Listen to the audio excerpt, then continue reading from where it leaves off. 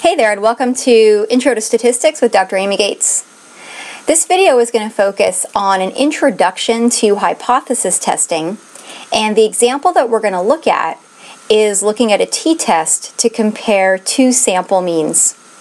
But first to get started, it's important to understand what hypothesis testing is and how it works from start to finish. So consider that most research starts with an idea. And this idea is then formalized into what we call a null and alternative or research hypothesis. Once we have a hypothesis, we can then collect samples and we can test our theory. We can use tests like the z-test or the t-test or others to determine if we're going to accept or reject our null hypothesis. So here's an example of how a hypothesis test can start out. Suppose a researcher thinks that not eating red meat will significantly lower cholesterol. This thought is an idea that is used to build a hypothesis test. Keep in mind that right now the status quo, what is normal in the US and in most countries, is that people just kind of freely eat meat and they're not particularly concerned that eating meat is going to raise their cholesterol.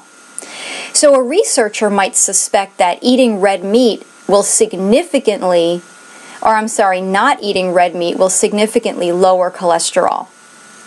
So in this case, a hypothesis test would consist of a null hypothesis, which is the norm or the status quo, and an alternative or research hypothesis, which is what our research idea is trying to show. Here in this case, our research idea is trying to show that not eating red meat will significantly reduce cholesterol levels in men over 45 in the USA. And notice how specific my research idea is. Next, this idea becomes a formal null and alternative hypothesis. So our research idea was that not eating red meat will significantly reduce cholesterol levels in men over 45 in the US, but we now need to make this idea much more specific and something we can test. One of our first goals is to decide how we plan to run this test and what we're going to measure or compare. Because in hypothesis testing, you have to look at parameters and you have to be able to measure or compare them. In this case, suppose I take a sample of 30 men over the age of 45 from the USA and I separate them into two groups so that I have 15 men in each group. Then, for a six month period of time, suppose I allow group one to have whatever red meat they want, but group two cannot eat any red meat. And this is for six months. So I have two sample groups of men over 45 randomly collected, 15 men in each group. Group one is no meat, but group two, I'm sorry, group one is meat okay, and group two cannot eat meat. This is what our data might look like if we put it into SPSS. Notice over here we have just numbers. This is kind of our person's D number or, or whatnot. So this is person 1, person 2, person 3, all the way down to all 30 people. Some of our people are in group 1 and some of our people are in group 2. So this designates the group they're in. And at the end of six months, this is their measure of cholesterol. So this is the cholesterol measure of person one who is in group one, person two who is in group one, and this measure down here is person 16 who is in group two, and so on. So this is how our data might be placed into SPSS. Next, we want to be able to compare our groups. Because the key here is we're wondering, is there going to be a significant difference between these groups? Group 1 can eat red meat and Group 2 cannot. So at the end of six months, is there going to be a significant difference between their mean cholesterol levels? So the parameter that we're comparing here is actually mean cholesterol.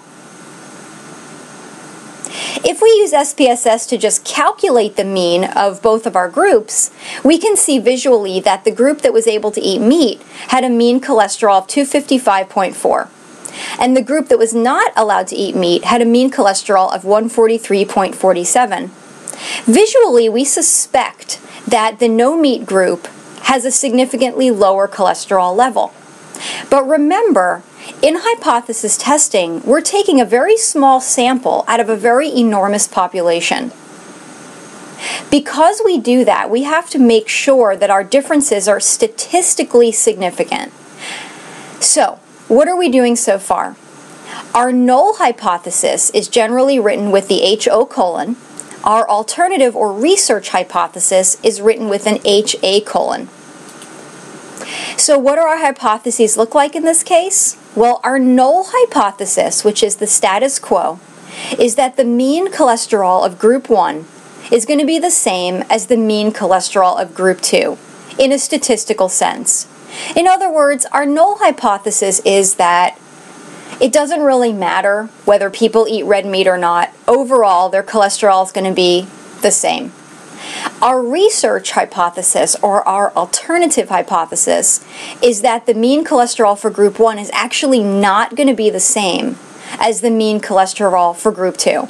In other words, they're going to be statistically significantly different. This not equal sign is actually a two-tailed hypothesis test. So here's our two hypotheses. And what I want you to notice is that the null hypothesis and our research hypothesis are almost exact opposites. One of them says, yep, there's not going to be a difference, and the other one says, yes, there is going to be a difference. We believe there is going to be a difference. That's why this is our research hypothesis. In the case of hypothesis testing, a test can either be two-tailed, meaning your alternative or research hypothesis has a not equal sign in it, or it can be a one-tailed test, meaning your research or alternative hypothesis has either a greater than or a less than. The null hypothesis always contains an equal sign because it represents the status quo or what is commonly believed at the time.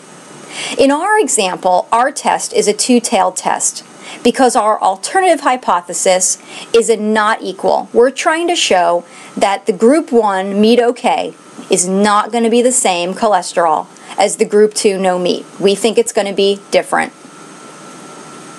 All right, so let's get back to our research question. We've got our null hypothesis, we've got our alternative hypothesis.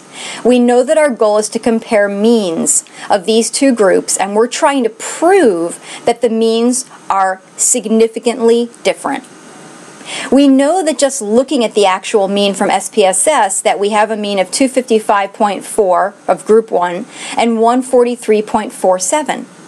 But our question is, do we reject the null hypothesis or not? In other words, can we conclude that our research idea is significant? In order to answer this question, we actually have to run a test. Depending on the type of data you collect and the sample sizes and the information you have about your population and so on, you might run a Z test or a T test. There are even ANOVA tests and so on. In this case, because we're comparing two sample means from two small groups, we're going to run a t-test. In this particular t-test, and I'm going to jump ahead, if we run this in SPSS, which we can do, we're going to see that our t-value comes out as a very large number of 8.148. We also see that our significance, or our p-value, is actually zero.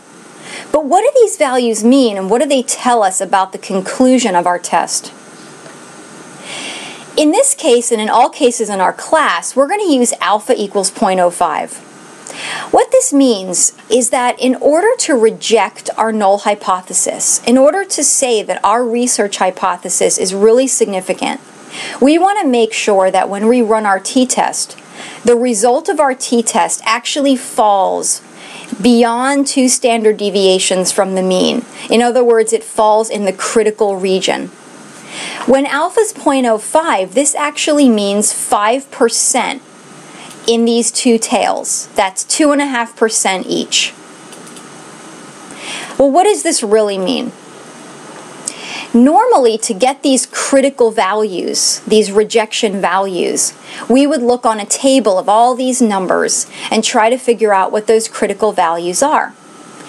But luckily, we have a couple of more straightforward options to do that.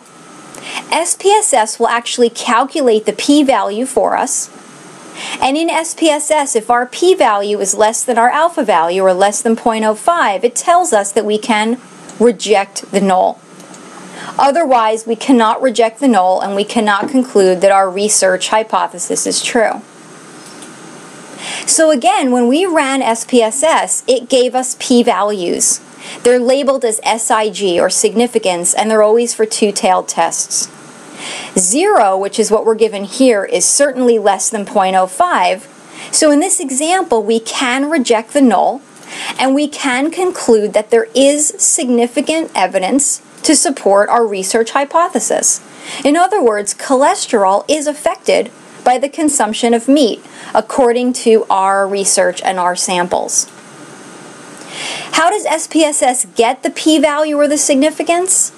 Well, it looks on a normal distribution curve or a t-distribution curve, depending on whether you're using a z-test or a t-test. And if you're using alpha is 0.05, that means that 5% of the value here of this curve is part of our rejection region. So these red arrows are pointing to the areas where we can reject the null hypothesis. In SPSS, we have a value called sig. That's our p-value. And as long as sig is less than 0.05, we can reject the null. If our p-value is not less than 0.05, we cannot reject the null. And that's how we make that decision.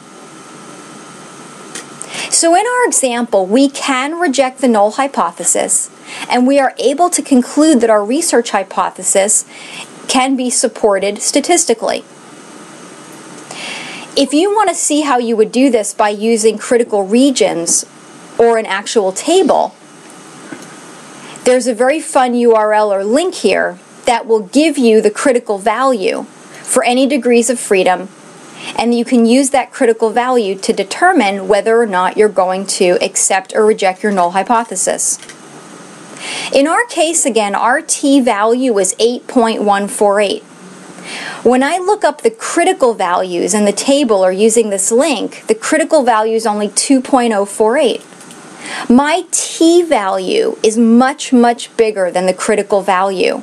So it is in the rejection region. It's all the way over to the right. And this is an image of what that looks like. Here's my little rejection regions. And here's my t-value all the way inside this rejection region. So this tells me 100% that I can reject the null hypothesis and I can conclude that my alternative hypothesis is significant.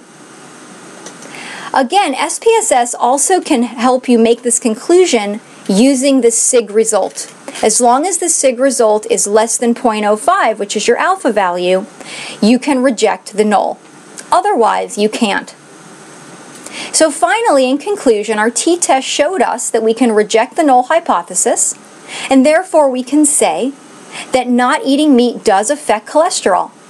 And if we want to see how it affects it, we can investigate both of the means to see that not eating meat actually has the lower cholesterol group. This is our first introduction to hypothesis testing, and more tutorials will come. Thanks.